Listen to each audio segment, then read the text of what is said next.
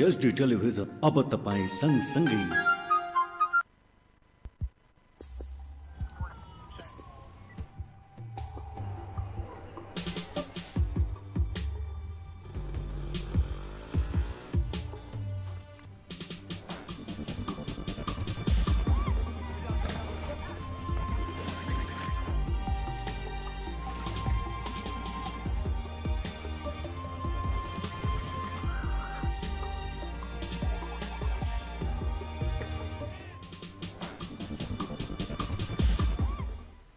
नमस्कार दर्शकवृन्द यहाँहरूलाई स्वागत छ जे नेपाल टेलिभिजनबाट प्रसारण भइरहेको कार्यक्रम मानव अधिकार निगरानीमा। म छु आलम खान। मानव अधिकार निगरानी कार्य- कार्यक्रममा मानव अधिकारका विभिन्न सवालमा केन्द्रित भएर निरन्तर रूपमा हामी कुराकानी गर्दै आएका छौँ। मानव अधिकार मैत्री समाज निर्माणका निम्ति राज्यले पनि तीनै तहको सरकारलाई अहिले परिपत्र गरेको छ मानव अधिकार मैत्री नीति निर्माण गर्नका लागि। कतिपय स्थानीय निकायहरूले प्रदेश सरकारहरूले मानव अधिकार नीति बनाउने अभियानमा छन् भने कतिपयलाई अझै त्यो परिपत्रका विषयमा अनभिज्ञता नै रहेको पाउन सकिन्छ। आज हामी सोही मानव अधिकारको सवालमा केन्द्रित भएर कुराकानी गर्नेछौँ। बाँकेको डुडुवा गाउँपालिकामा केही दिन अगाडि मात्रै म्याद गुज्रेको औषधि नागरिकहरूले सेवन गर्दाखेरि उत्पन्न भएको एउटा विवाद र सार्वजनिक भएको समाचारहरूका विषयमा निकै जनताहरूको चासो र त्यसलाई कसरी अहिले जिल्ला स्वास्थ्य कार्य स्वास्थ्य कार्यालय बाँकेले कसरी त्यसलाई समाधान गर्ने प्रयास गरिरहेको छ र प्रदेश सरकारले त्यसलाई कसरी हेरिरहेको छ यस्ता समस्याहरूलाई समाधान गर्नका निम्ति कसरी कार्यहरू अगाडि बढाउला र नेपालको संविधान को भाग एक धारा पैँतिसमा नै उल्लेख गरिएको छ। निशुल्क रूपमा स्वास्थ्य सेवाबाट सेवाहरू नागरिकहरूले पाउनेछन्। नागरिकहरूलाई आकस्मिक स्वास्थ्य सेवाबाट कसैलाई वञ्चित गरिने छैन भन्ने उल्लेख गरिँदा पनि अझै पनि नागरिकहरूले जुन पाउनुपर्ने निशुल्क रूपमा औषधिहरू हो सेवाहरू हो त्यो पाउन सकिरहेका छैनन् भन्ने गुनासोहरू व्यापक रूपमा सुन्ने गरिन्छ।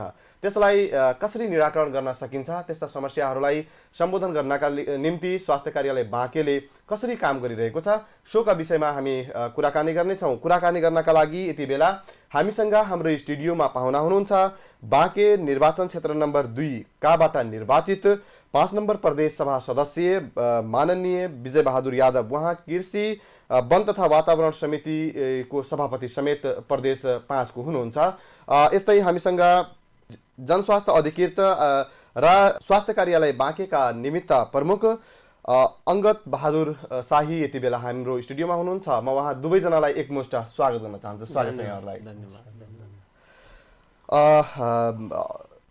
नेपालको संविधानको भाग एक। धारा पैँतिसले प्रत्येक नागरिकलाई राज्यबाट आधारभूत स्वास्थ्य सेवा निशुल्क रूपमा वितरण गर्ने भन्ने उल्लेख गरिएको छ। आकस्मिक सेवा अ, बाट कसैलाई वञ्चित गरिने छैन भनेर भनिएका बेला ति- तिनीहरूलाई नागरिकहरूलाई कसरी सेवा प्रवाह गर्ने काम गरिरहेको छ? सोको विषयमा म स्वास्थ्य कार्यालय बाँकेका निमित्त प्रमुख अङ्गत बहादुर शाहीजुसतिर जान चाहन्छु। यो जुन संविधानले दिएको छ जुन एउटा मौलिक अधिकार हो नागरिकको त्योबाट नै वञ्चित भइरहेको भन्ने कुरा सुन्ने गरिन्छ। के पाउनु भएको छ तपाईँहरूले? प्रश्नको लागि यहाँलाई म धन्यवाद दिन चाहन्छु। अहिले चाहिँ हाम्रो दुई हजार बहत्तरको संविधानमा स्वास्थ्य क्षेत्रको लागि धारा पैँतिसका विभिन्न उपधाराहरूमा स्वास्थ्य पोषण र सरसफाइको बारेमा उल्लेख भएको छ र त्यही अनुसार तिनै तहमा सङ्घमा चाहिँ सङ्घको काम कर्तव्य अधिकार अनुसूचीमा पछाडि अनुसूची सात आठ नौतिर हो सायद। त्यो तोकिएको छ भने अर्को चाहिँ प्रदेशको काम के के हो? त्यसपछि स्थानीय काम के के हो र सङ्घ र प्रदेशको साझा काम के हो? प्रदेश र स्थानीयको साझा काम के हो? अथवा तिनटै तहको साझा काम के हो भन्ने कुराहरू उल्लेख भएको पाइन्छ। त्यसको लागि हामीले सङ्घले चाहिँ नीति नियम निर्माण गर्ने धेरैजसो कुराहरू छ र अरू चाहिँ नीति नियमका अलावा सप्लाईको कुरा पनि छ भने राष्ट्रिय स्तरमा गर्नुपर्ने प्रदेश र स्थानीय तहबाट हुन नसक्ने किसिमका औषधि उपकरण जस्ता वस्तुहरूलाई व्यवस्थापन गर्ने जस्ता कामहरू उल्लेख भएको छन्। त्यही अनुसारको काम पनि भइरहेछ भने प्रदेशमा आइसकेपछि प्रदेशले प्रदेश अन्तर्गत नीति नियम निर्माण गर्ने र सर्वसुलभ रूपमा स्वास्थ्य सेवा प्रदान गर्नको लागि अत्यावश्यक खोप लगायत अत्यावश्यक प्रोग्रामका लजिस्टिकहरू सप्लाई गर्ने धेरै चाहिँ टेक्निकल किसिमको ब्याकअप दिने स्थानीय स्तरसँग समन्वय गरिकन एउटा प्रदेश र सङ्घको बिचको पुलको रूपमा पनि काम गरेर स्वास्थ्य सेवालाई व्यवस्थित गर्ने र जनताले महसुसीकरण गर्ने गरिकन स्वास्थ्य सेवाको व्यवस्थापन गर्नको लागि स्वास्थ्य कार्यालय छ भने धेरै सो कामहरू जुन चाहिँ तुरुन्तै गर्नुपर्ने सजिला प्रकृतिका कामहरू र त्यहीँबाट सेवा प्रदान गर्दाखेरि जनतालाई चाहिँ सहज हुने किसिमका स्वास्थ्य सेवाहरूको प्रवाह गर्नलाई स्थानीय तहलाई जिम्मेवारी तोकिएको अवस्था छ र त्यही अनुसारको अहिले विभिन्न चाहिँ कानुनहरू पनि निर्माण भएका छन् प्रत्येक ठाउँमा त्यही अनुसारको सेवा प्रदान गरिरहेको अवस्था हो। यो विभिन्न किसिमको अब सेवाहरू प्रदान गरिरहेको र विभिन्न जुन यो तहहरू छन् तह अनुसार तपाईँले बताउनु भयो तर यो अहिले यो तिन किसिमको संरचना निर्माण भइसकेपछि अब स्वास्थ्य कार्यालय त भयो। यो स्वास्थ्य कार्यालयले मेन गर्ने अहिले चाहिँ के रह्यो त अब काम? योभन्दा पहिले पनि मैले यही स्टुडियोबाट प्रश्न पारेको थिएँ। स्वास्थ्य कार्यालय भनेको पहिलाको साबिकको जनस्वास्थ्य कार्यालयले गर्ने कामहरू धेरै कामहरू त्यही कामहरू यतातिर आएको छ। त्यसमा खास गरिकन पहिला कर्मचारीको व्यवस्थापन पनि गर्ने कर्मचारीको सरुवा पनि गर्ने कर्मचारीको डाइरेक्ट प्रशासनिक नियन्त्रण गर्ने त्यो कामहरू चाहिँ पालिकामा गयो। संयोजन कर्मचारी समायोजन पनि धेरै तहमा चाहिँ सकियो। हुन त अरू मन्त्रालयको त्यति विवादास्पद भएन। स्वास्थ्य सेवातर्फको कर्मचारी व्यवस्थापनमा केही चाहिँ व्यवस्थापन गर्ने तर्फबाटै गाह्रो भएको होला। त्यो सबै कुरा सकिसकेपछि अहिले चाहिँ तत्ततका जुन संविधान अन्- अन्तर्गतका स्वास्थ्य कार्यालयले चाहिँ गर्ने कामहरू भनेर पन्ध्र सोह्रवटा कामहरू चाहिँ हामीलाई चाहिँ टिओआरमा छ। त्यसमा सबभन्दा पहिला चाहिँ हामीले चाहिँ प्रदेशले सामाजिक विकास मन्त्रालय अथवा प्रदेश सरकारले बनाएको नीति नियमअनुसार सेवा प्रवाह गर्ने र स्थानीय तहसँग समन्वय गरिकन स्वास्थ्य सेवालाई प्रवाह गर्ने हो। त्यसमा जस्तै अब जस्तै खोप सेवालाई हामीले चाहिँ खोप सेवाको सप्लाई सञ्चालन र गुणस्तरीय खोप सेवाहरू प्रदान गर्नको लागि भ्याक्सिन ढुवानी भ्याक्सिन चाहिँ आपूर्ति गर्ने कुरा छ। अर्को कुरा चाहिँ प्रोग्राम लजिस्टिक हुन्छ जस्तै तपाईँको आइरन चक्कीहरू तपाईँको भिटामिन ए अस्ति भर्खरै अब हामी मा हात्तीपाइलेको अभियान गऱ्यौँ। अहिले दादरा रुबेला खोपको अभियान गरेका छौँ त्यो अभियानहरू सञ्चालन गर्ने।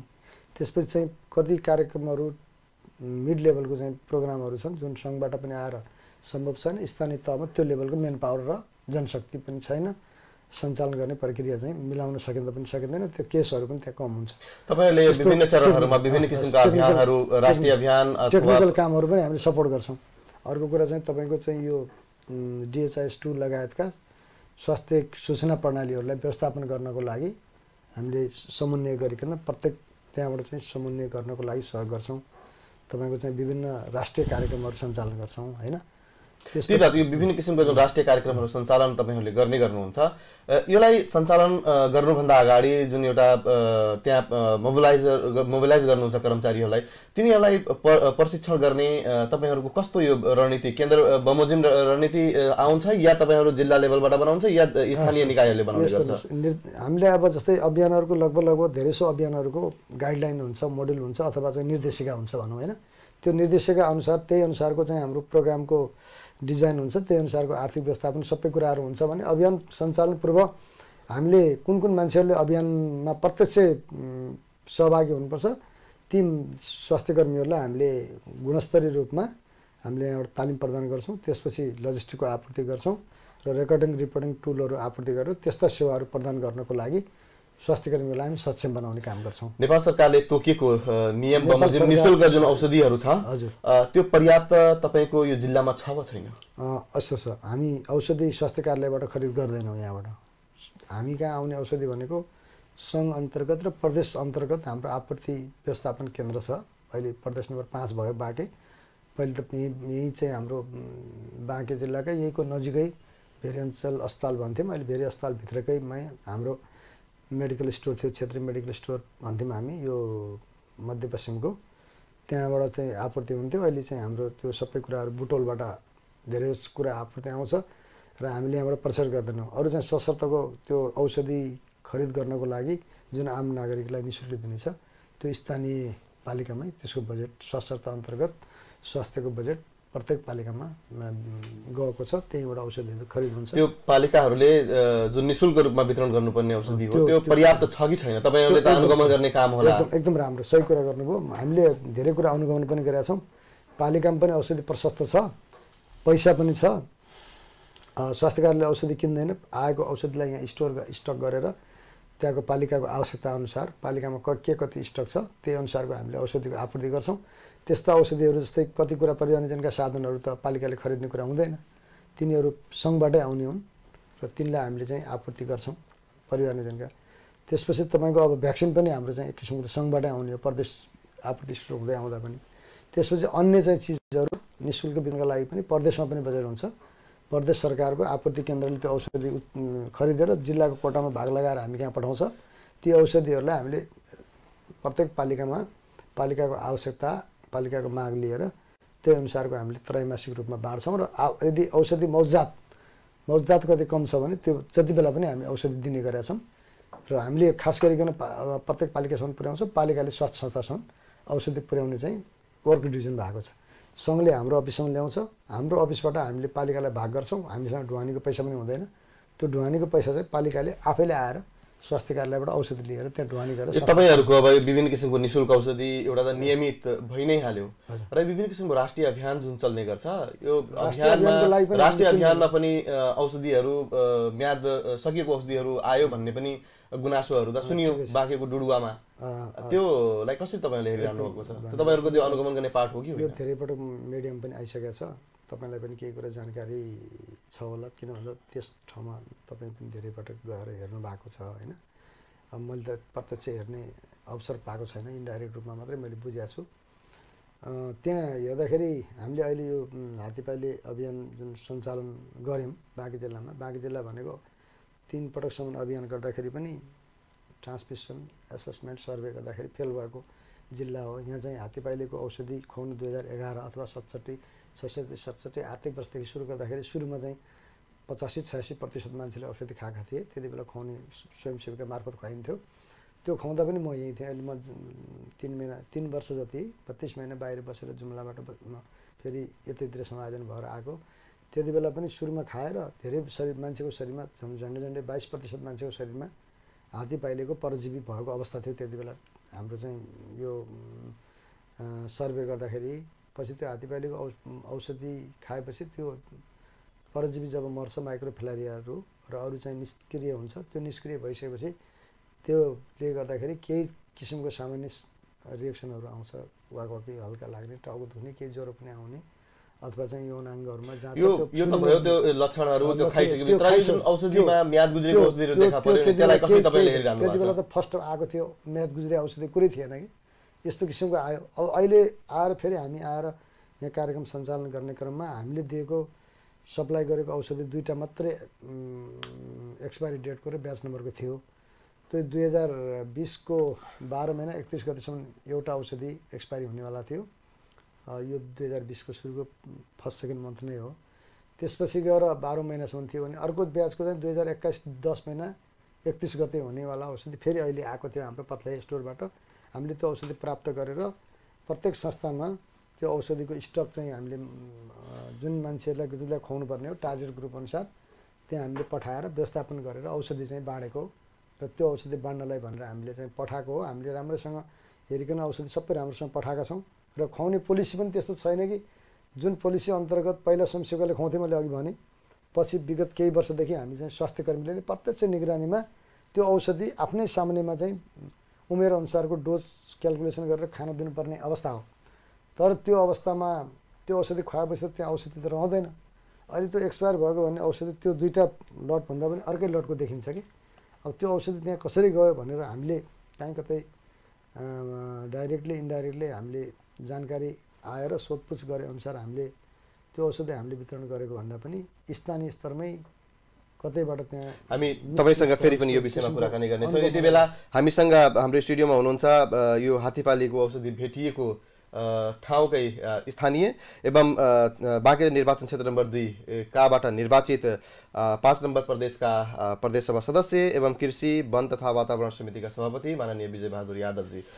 तपाईँकै निर्वाचन क्षेत्र तपाईँकै ठाउँमा तपाईँकै अब गाउँ भनौँ गाउँमै यसरी चाहिँ म्याद गुज्रेको औषधि भेट्दा तपाईँहरू जस्तो मान्छे मौन भएर बस्नु जनताको लागि दुर्भाग्य हो कि होइन? होइन सर अब हजुर त मानव अधिकारको उसमा एउटा यस्तो पवित्र एउटा संस्थामा चाहिँ काम गरेर हिँड्नु भएको छ। र सायद मैले जुन मलाई त्यो क्षेत्रको मेरो निर्वाचन क्षेत्र नम्बर दुईको कका जनताहरूले निर्वाचित गरेर पठाए र जहाँको लागि पठाए त्यो कुरा मैले त्यहाँ उठाएकै हुँ। हजुरहरू पनि मिडिया मार्फत त्यो कुरा हेर्नुभएको होला। त्यस्तो होइन कि म चुप लागेर बसेँ। तर आश्चर्य के लाग्यो भने मैले त्यहाँ त्यति कुरा उठाउँदाखेरि चाहिँ अहिलेसम्म जुन स्पिडमा कारवाही हुनुपर्ने हो त्यो स्पिडमा चाहिँ कारवाही भएको छैन। त्यो एउटा अलिकति चाहिँ यो दुःखको कुरा पनि हो। किनभने यो एकदम मानव अधिकारसँग अहिले म त्यति बेला पनि के भनेको थिएँ भने अहिले हाम्रो चाहिँ प्रमुख सबैभन्दा मान्छेको यो कोही कसैले भन्छ बाटो कसैले भन्छ यो त्यो बिजुली योभन्दा पनि आधारभूत कुरा भनेको नै सबैभन्दा ठुलो सबभन्दा पहिला स्वास्थ्य हो। त्यसपछि शिक्षा। स्वास्थ्य सही भएन भने हामी केही गर्न सक्दैन। र त्यही स्वास्थ्यसँग त्यत्रो ठुलो खेलवाड हेर्नुहोस् एउटा चाहिँ गाउँमा गएर त्यो औषधि बाँडिन्छ र त्यहीँको चाहिँ गाउँपालिकाको जुन स्वास्थ्य प्रमुख हुनुहुन्छ उहाँले हामी कहाँबाट यो औषधि गएकै छैन भनेपछि त्यो अन्त बाहिर मेडिकल स्टोरहरूमा पनि नमिल्ने औषधि भइसकेपछि त्यसको त क्लियर हुनु पर्यो त्यो औषधि गयो कहाँबाट? त्यसको एउटा के छ भने त्यो औषधि गयो कहाँबाट? र अर्को कुरा म तपाईँलाई के भन्छु भने त्यहाँ प्रत्येक तपाईँ आफै जानुभयो होला हजुरको टिम पनि गयो होला यो राष्ट्रिय अभियान कार्यक्रम हो र यो कार्यक्रम अन्तर्गत हात्ती पाइलेको औषधि खुवाउँदाखेरि मान्छेको घरको अगाडि नै गएर औषधि खुवाउने ऊ छ। त्यो चक्की खोलेरै दिने हो। तर तपाईँहरू बुझ्नुभयो होला उनीहरूले स्टेपकै स्टेप बाँडेर चाहिँ आएका छन्। भनेपछि कत्रो ठुलो चाहिँ त्यहाँको जनताहरूको स्वास्थ्यसँग चाहिँ कत्रो ठुलो चाहिँ खेलवाड भएको छ भन्ने कुरा यसैबाट पुष्टि हुन्छ। त्यो र अर्को कुरा मलाई झन् अझ एउटा आश्चर्य के लाग्छ यति कुरा हुँदाखेरि त्यहाँको तपाईँको त्यो डुडुवा गाउँपालिकाको जसले स्वास्थ्य हेरिराख्नु भएको छ त्यहाँको स्वास्थ्यको इन्चार्ज उहाँले मिडिया मार्फत भन्नुहुन्छ हामीले गरेकै होइनौँ यो कसैले यो राष्ट्रिय अभियान यो विफल पार्नको लागि गरेको सुनियोजित तरिकाबाट हो भन्ने कुरा चाहिँ आउँदाखेरि म त्यो कुरा सुन्दाखेरि बडा विचित्र मलाई पनि लाग्यो कि हामी त्यो राष्ट्रिय अभियान विफल पार्नको लागि थोरै हामी लागेछौँ। त्यो हाम्रो पनि त्यो राष्ट्रिय अभियान सफल पार्न हाम्रो पनि त्यत्तिकै दायित्व हो। उहाँहरूको दायित्व हो भने हाम्रो पनि दायित्व हो। हामी सबै मिलेर नै सफल हुन्छ। खालि यसमा जनस्वास्थ्यको कर्मचारी लागेर मात्र यो सफल हुने भन्ने कुरा छैन। या खालि आम पब्लिक नै अगाडि आएर चाहिँ गर- गरेर चाहिँ सफल हुने पनि हुने कुरा होइन। हामी सबै हातेमालो गरेर अगाडि बढेर नै यो कार्यक्रम सफल हुन्छ। र उहाँहरूले गल्ती गर्नुभएको छ त्यो आफ्नो गल्तीलाई त कमसेकम रिलाइज त गर्नु पऱ्यो यो गल्ती कहाँबाट भएछ भन्ने कुरा त्यो एउटा घरमा औषधि खुवाएको कुरा होइन त्यहाँ दुई तिनवटा घरका मान्छेले पनि त्यो औषधि खाइसकेको अवस्था छ। अनि यो हाम्रो यो ब्याचको औषधि होइन भन्ने कुरा उहाँले भन्नुभयो। यो ब्याचको औषधि ल- छैन। भनेपछि यो हात्तीपाइले रोगको औषधि यही वर्ष त खुवाएको होइन। गत वर्ष पनि, विगत वर्ष पनि खुवाइएको छ। त ती बचेका औषधिहरूको स्टक कहाँ छ? त्यो जिल्ला जनस्वास्थ्य कार्यालयलाई फिर्ता हो कि? कि त्यति बेला त्यहाँ कसरी त्यो नष्ट गरिएको हो कि त्यसको केही उहाँहरूसँग त्यसको प्रमाण छ? त्यो कुरा पनि उहाँहरूले ल्याउनु पर्यो। स्वास्थ्यसँग यस्तो चाहिँ मानव अधिकारको सबैभन्दा अब जब हेर्नुहोस् मान्छेले आफ्नो बाँच्ने अधिकारको कुरामा चाहिँ जब चाहिँ तपाईँको जुन स्वास्थ्यको चाहिँ त्यहाँ डुडा गाउँपालिकाको स्वास्थ्य हेर्ने चाहिँ तपाईँको शाखाबाट यत्रो ठुलो चाहिँ त्रुटि हुन्छ र त्यो त्रुटि लुकाउनलाई चाहिँ गल्तीमै गल्ती गल्तीमै गल्ती गल्तीमै गल्ती चाहिँ गर्ने कुरा उहाँले गरिराख्नु भएको छ। त्यस कारणले म अहिले तपाईँको यो अहिले यहाँ यो मानव अधिकार सम्बन्धी जुन हाम्रो संवाद भइरहेको छ यो मिडिया मार्फत नै म के भन्न चाहन्छु भने त्यसको एकदम न्यायिक छानबिन होस्। कसैले के भन्छ यो राजनीतिक कुरा हो। कोही राजनीतिक कुरा होइन। त्यो औषधिसँग पनि राजनीति गाँसिन्छ औषधिसँग राजनीति गाँस्ने कुरा होइन नि त। राजनीति पोलिटिक्स अलग ठाउँमा हुन्छ। कसैको अलग विचारधारा होला कसैको अलग विचारधारा होला त्यो आफ्नो ठाउँमा छ। तर त्यो डेट एक्सपायर औषधि पनि राजनीतिसँग गाँसेको औषधि हो।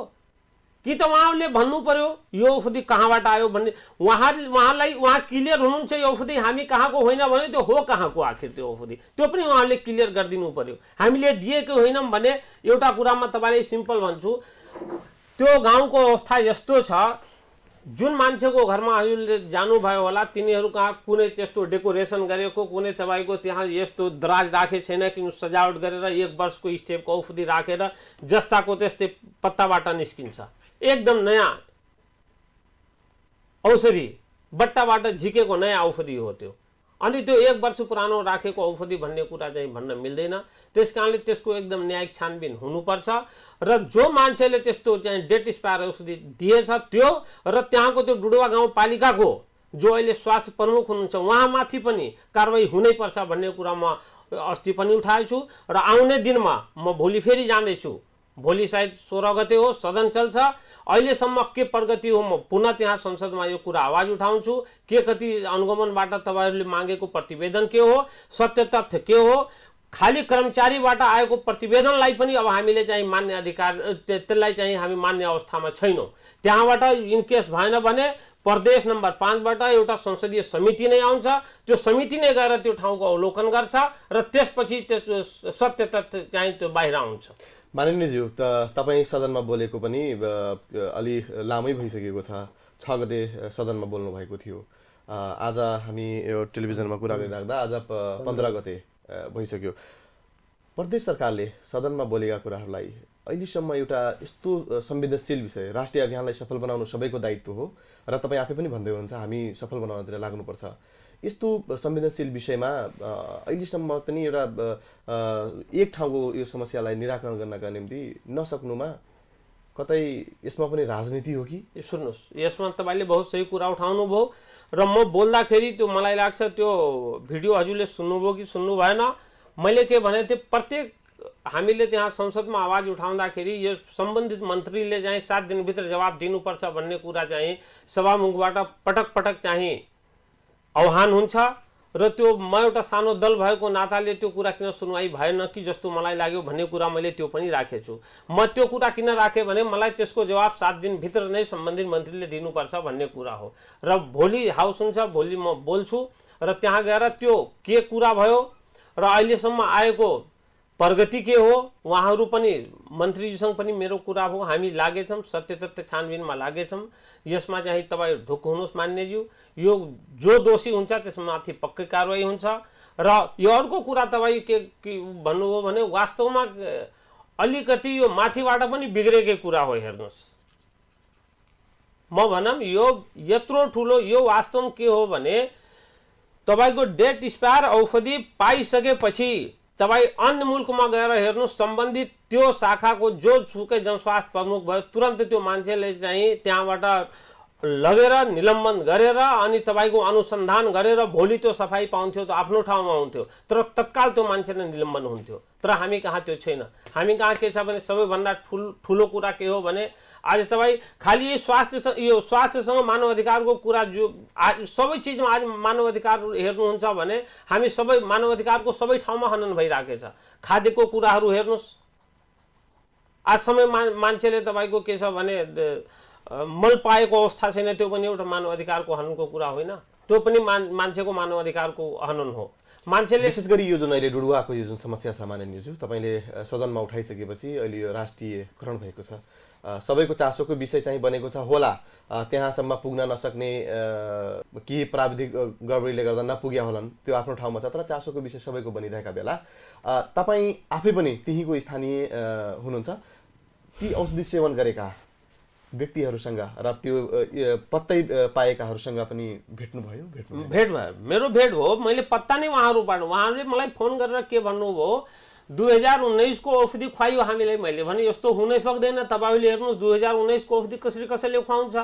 यो त के हो भने तपाईँको झन् तपाईँ त्यो पत्ता कहाँबाट पाउनुभयो? त्यो त चक्की झिकेर खुवाउने कुरा हो।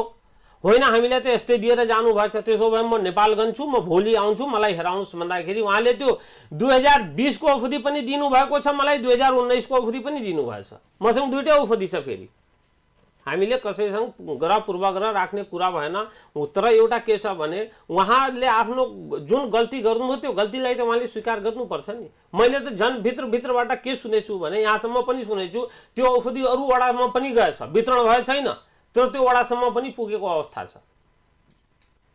त्यस कारणले यावत कुराहरूमा चाहिँ तपाईँको सम्बन्धित निकायले विशेष ध्यान दिनुपर्छ र सम्बन्धित निकायले ध्यान दिँदा पनि भएन भने राज्यको ठुलो हेर्न जिम्मेवारी हो। अहिले सत्तासीन जो चाहिँ तपाईँको चाहे त्यो प्रदेशका सामाजिक विकास मन्त्री हुन्, चाहे प्रदेशका मुख्यमन्त्री हुन्, उनीहरूले चाहिँ यो कुरालाई विशेष ध्यान दिनुपर्छ। म त्यो क्षेत्रबाट निर्वाचित भएको नाताले यो कुरा म पटक पटक त्यहाँ उठाउँछु र जबसम्म यसको सत्य तथ्य कुनै एउटा त्यो हो के वास्तवमा त्यो जब चाहिँ तपाईँको एउटा चित्त बुझ्दो त्यसको चाहिँ एउटा प्रतिवेदन आउँदैन तबसम्म यो चाहिँ सदनमा यो कारवाही पटक पटक कारवाहीको बेलामै आवाज उठ्दै रहन्छ। स्वास्थ्य कार्यालय बाँकेका निमित्त प्रमुख अङ्गद बहादुर शाही हामीसँग हुनुहुन्छ। यस्तो औषधि म्याद गुज्रेको औषधि खुवाउनेहरूमाथि कारवाही गर्ने स्वास्थ्य ऐनमा के छ व्यवस्था? कस्तो के हुन्छ? धन्यवाद। व्यवस्था चाहिँ यसरी चाहिँ औषधि यदि म्याद गुज्रेको औषधि खुवाएकै हो भने त्यस्तो स्वास्थ्य कर्मीलाई त्यो किसिमको व्यवस्थापकलाई पनि कारवाही गर्ने व्यवस्थापन पनि छ जुन जनतालाई औषधि खुवाइयो त्यसको चाहिँ केही इन्सेन्टिभ पनि राज्यले अथवा त्यो खुवाउने मान्छेले बेहोर्ने पनि सायद कानुनी व्यवस्था छ। त्यो अहिले मैले प्रत्येक बुदागत रूपमा त भनिनँ। किन भन्दा तपाईँको अहिले फेरि हाम्रो चाहिँ गाउँपालिकामा गएको कर्मचारी स्थानीय तह कर्मचारी हो। त्यसलाई हामीले कारवाही गर्न सक्दैनौँ अहिले। न सङ्घले कारवाही गर्न सक्छ कारवाहीको सिफारिस गर्ने हो। प्रदेशले पनि सिफारिस गरेर कारवाही गर्ने सकेन भने तलबाट कारवाही गर्न चाहेनन् भने कानुनी अरू निकासहरू छन् त्यो का अरू अदालती प्रक्रिया लगायतका निकासबाट कारवाही गर्ने कुरा नहुने कुरा होइन। छ सबै नागरिकले कर्मचारीले त झन् धेरै भोग्नु पऱ्यो किन त्यसैको लागि पठाएको हो? त्योभन्दा अरू सामान्य नागरिकले पनि त्यस्तो गल्ती गर्छ भने त्यो राम्रो कुरा होइन कहिले पनि कदापि हुन सक्दैन। अर्को चाहिँ हाम्रो स्वास्थ्य कार्यालय भनेको प्रदेशको कार्यालय हो। हामी सामाजिक विकास मन्त्रालयका कर्मचारी अन्तर्गतका कर्मचारी हौँ हामी सोही अन्तर्गत काम गर्छौँ। हाम्रो कार्यालयबाट कुनै पनि गल्ती भएको छ भने हामीलाई सामाजिक विकास मन्त्रालय स्वास्थ्य निर्देशनालय लगायतले त्यहाँबाट पनि हाम्रो हाम्रो का हाम्रो कार्यालयका गल्ती गर्ने कर्मचारीको लागि कारवाही हुन्छ। हुन सकेको कुरा कि विभागीय प्रमुख त मन्त्रालय नै हो। त्यसैप्रति हामी वफादार जिम्मेवार भएर काम गर्न आएको खटाएको पनि त्यतैबाट हो। त्यसैले यी कारवाही हुने कुरा चाहिँ आफ्नो ठाउँमा भए मान्यज्यूसँग जुन कुरा मान्यज्यूबाट आयो अस्तिदेखि आउँदै गरेको छ त्यसप्रति पनि हाम्रो चाहिँ ध्यान ध्यान चाहिँ आकर्षण भएको छ अध्ययन गऱ्यौँ। केही कुराहरू चाहिँ धिरजङ शाह प्रमुख हुनुहुन्छ। अहिले उहाँ चाहिँ कार्यक्रममा काठमाडौँ जानुभएको हुनाले म भएको हो। यो अवस्थामा म चाहिँ त्यहाँको चाहिँ सेकेन्डमेन्ट भएपछि अब कार्यालय प्रमुख बाहिर गएपछि आफूले नै सबै जिम्मेवारी लिनुपर्छ। यो अवस्थामा हेर्दाखेरि के छ भने तपाईँको चाहिँ उहाँले पनि केही कुराहरू त्यहाँ गएर अध्ययन गर्नुभएको छ। उहाँको पनि केही ऊ होला लेखेर पनि पठाउनु भएको छ सायद अफिसबाटै। यो कारणले यसरी यसरी भएको भनेर। त्यतिमा पनि विश्वास लाग्दैन भने मान्यज्यूले भने जस्तै संसदीय समितिबाटै केही कुराहरूको चाहिँ अगाडि चाहिँ यो प्रक्रिया पनि हुनसक्छ।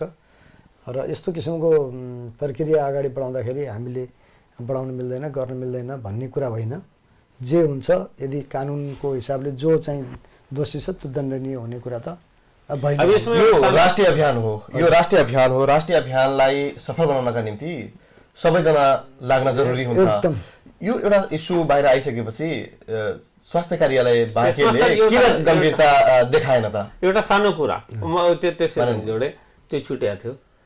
जस्तै पीडित पक्ष भन्नाले जसले औषधि सेवन गर्नुभएछ। उहाँले भनिराख्नु भएछ हामी म ती मान्छेलाई नामले चिन्दैन तर जुन स्वास्थ्य कर्मीहरूले खुवाउनु भएको छ उहाँलाई हाम्रो सामने ल्याउनुहोस् हामी त्यो मान्छेलाई चिन्छौँ भन्दाखेरि अहिलेसम्म कमसे कम त्यो स्थानीय तपाईँको डुडुवा गाउँपालिकाको स्वास्थ्य शाखा स्थानीय या जनस्वास्थ्य शाखा मार्फत अहिले के छ? त्यहाँ जति कर्मचारी छन् ती ती कर्मचारी त्यहाँ खुवाउने कर्मचारीले त्यो मान्छे कहाँ उभ्याएर त्यसले औषधि खुवाएको कि नखुवाएको भन्ने कुरा त प्रश्न भइहाल्थ्यो नि त। यसमा ठुलो तपाईँको बााउन्डर गर्ने यो कुनै यो पहाड खस्यो यो भयो त्यो के के भन्छ एउटा हाम्रो उसमा मधेसमा एउटा उखान पनि छ के फोडो पहाड निक्ली चुहिया भने जस्तै।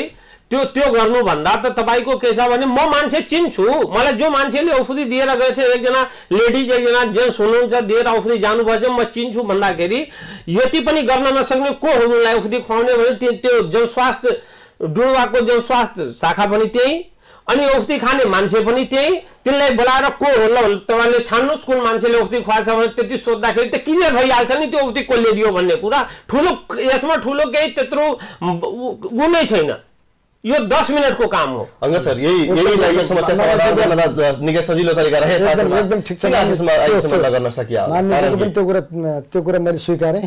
उहाँलाई पनि म समर्थन गर्दै त्यो कुरा चाहिँ पत्ता लाग्छ लगाउनुपर्छ अब त्यो लगाउनको लागि एउटा स्वास्थ्य कर्मीलाई तिमी अगाडि आऊ भनेपछि त्यहाँनिर केही सुरक्षाको कुरा पनि एक्सपायर औषधि खुवाइदियो यस्तो गरिदियो उस्तो गरिदियो भन्ने जनमानसमा बुझाइ भएपछि त्यो कर्मचारीको सुरक्षा पनि नहुन सक्छ सुरक्षाको ग्यारेन्टी दिएर त्यो ठाउँमा त्यो कर्मचारीलाई लिएर हामीले चाहिँ सोधपुछ गर्ने र यदि उनले खुवाएको हो स्टिपे औषधि दिएको हो भन्ने कुरा यदि प्रमाणित हुन्छ भने कारवाही गर्ने के प्रोसेस छ त्यस्तो कर्मचारीलाई कारवाही पनि गर्नुपर्छ जसले गर्दा भोलिका दिनमा हो मैले। जान्न अहिलेसम्म तपाईँले। यो यत्रो लामो समय यति यो सानो काम अहिलेसम्म अ, स्वास्थ्य कार्यालय बाँकेले यहाँ सुन्नु न, किन गर्न नसक्यो होला? औषधि औषधि एक्सपायर कुनै कम्युनिटीमा होला त्यहाँ देखायो भने उनीहरूको दोष होला औषधि एक्सपायर औषधि नहेरिकन तिन चारवटा यहाँ एक ठाउँ हुन्न कि स्वास्थ्य कार्यालयले हेर्छ त्यसपछि पालिकाले हेर्छ त्यसपछि हेल्पसमा जान्छ त्यसपछि खुवाउने मान्छेले जान्छ। पाँच पाँचवटा स्वास्थ्य कर्मीले हेर्दाखेरि औषधि त्यहाँ चाहिँ एक्सपायर जान्न भने त्यो च्यानलको सबै मान्छे आउनुपर्छ। खुवाउने मात्रै होइन। खुवाउने मान्छे। सांसदज्यू। खुवाउने मान्छे फर्स्ट पहिलो लाइनको भयो। त्यसपछि दिने मान्छे छ वितरण गर्ने। त्यहाँबाट अरू पालिकामा छ।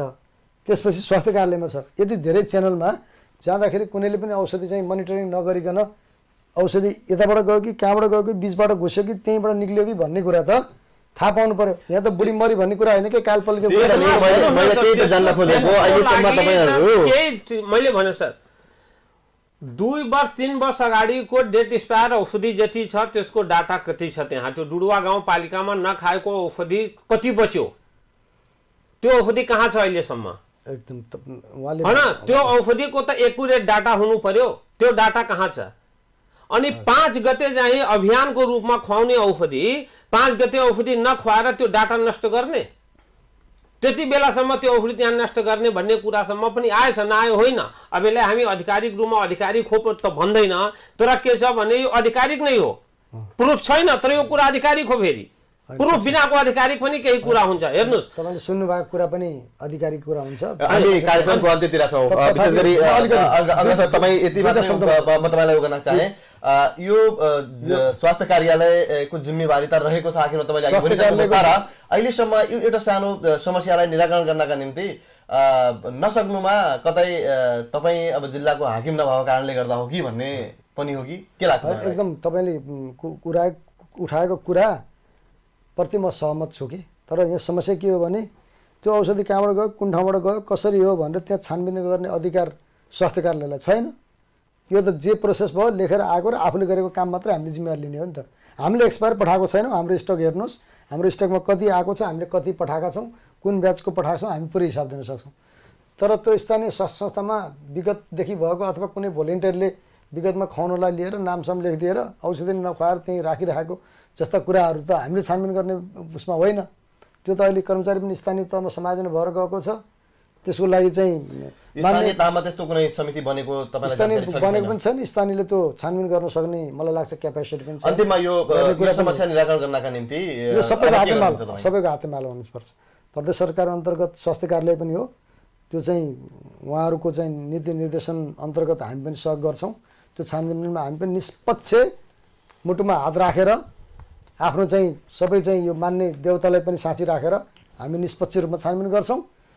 स्थानीय तहले पनि त्यसको छानबिन गर्नु पऱ्यो सभासदज्यूहरूले पनि त्यसमा साथ दिनु पऱ्यो त्यस्तो दोषी छ भने जुन चाहिँ दोषीलाई त्यो लेभलको दोषीलाई जे कारवाही गर्नुपर्ने हो त्यो कारवाही गर्ने काममा हाम्रो समर्थन हुन्छ हामी सहयोग पनि गर्छौँ। अन्त्यमा माननीय विजय बहादुर यादवज्यू हाम्रो टेलिभिजन हेरेर बस्नुभएका आम दर्शकहरूलाई यस्ता किसिमका समस्याहरू आउन नदिनका निम्ति मानव अधिकार मैत्री समाज निर्माण गर्नका निम्ति के भन्नुहुन्छ? होइन यसमा त के छ भने यो तपाईँको यो मिडिया मार्फतमा आम समुदायलाई के भन्न चाहन्छु भने वास्तवमा हामी सबै जागरुक हुनुपर्छ एउटा कुरा।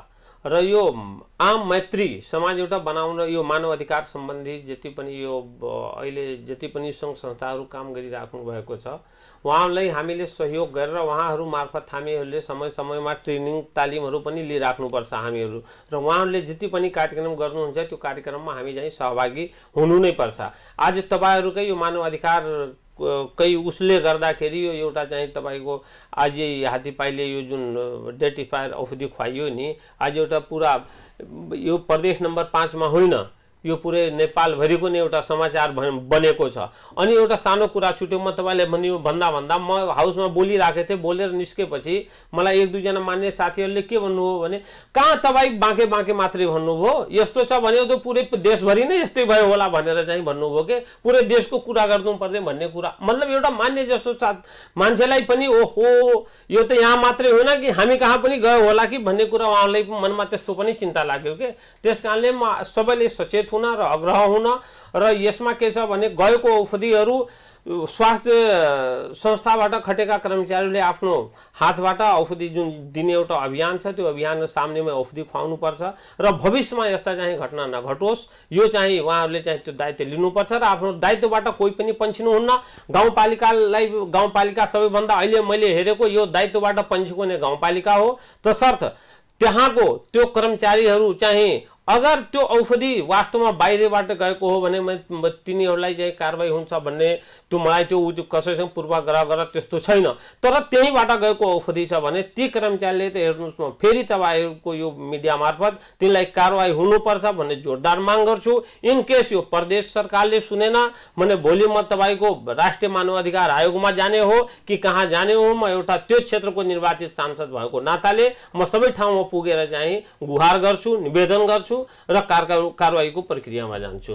कार्यक्रममा आएर आफ्नो विचार राख्नुभयो त्यसका लागि तपाईँ दुवैजनालाई धेरै धेरै धन्यवाद। हवस् त यहाँलाई पनि धेरै धेरै धन्यवाद। आदरणीय दर्शकबिन्दु उहाँहरू हुनुहुन्थ्यो बाँके निर्वाचन क्षेत्र नम्बर दुई काबाट प्रत्यक्ष निर्वाचित। पाँच नम्बर प्रदेशसभा सदस्य एवं कृषि वन तथा वातावरण समितिका सभापति माननीय विजय बहादुर यादव र जनस्वास्थ्य अधिकृत एवं निमित्त जिल्ला स्वास्थ्य कार्यालय बाँकेका प्रमुख अङ्गत बहादुर शाही। उहाँसँग हामी कुराकानी गऱ्यौँ। विशेष गरी यो बाँके जिल्लामा देखिएका केही स्वास्थ्यका समस्याहरूलाई निराकरण कसरी गर्न सकिन्छ सोको विषयमा केन्द्रित भएर कुराकानी गऱ्यौँ। हामी अर्को अङ्कमा फरक विषयमा मानव अधिकारको सवालमा कुराकानी गर्ने बाचाका साथ अहिलेलाई अ, म आलम खान बिदा हुन्छु। नमस्कार।